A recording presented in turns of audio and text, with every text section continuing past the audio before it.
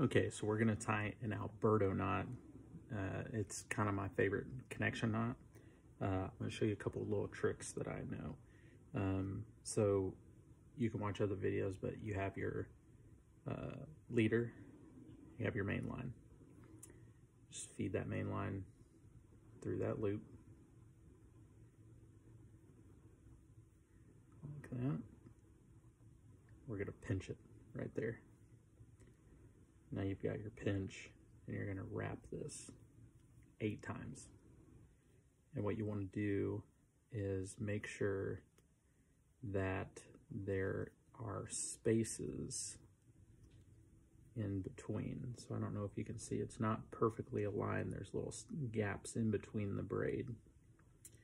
So after you've done that, you can pinch right there and we're gonna loop it back up the line but you want to pay attention so that each one of your wraps back up the line kind of fits in between the gaps that you just created when you went down the line.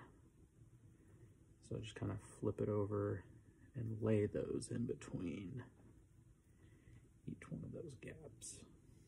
Okay, now the most important part of that is your main line, my main line comes down through the loop in this one. So when you cinch this, your tag end needs to come down through the loop as well. They need to be the same direction.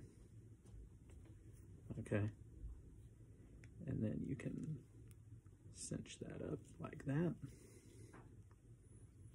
And if you've tied this one correctly, that knot will be kind of hard to see, sorry. That knot will be cinched all the way down. If any of these spots on here, and typically it'll be at the end, if they are loose, um, that's that's not that's not good. That's not a good good connection knot, so you'll need to redo it. But very strong. That's how I do it.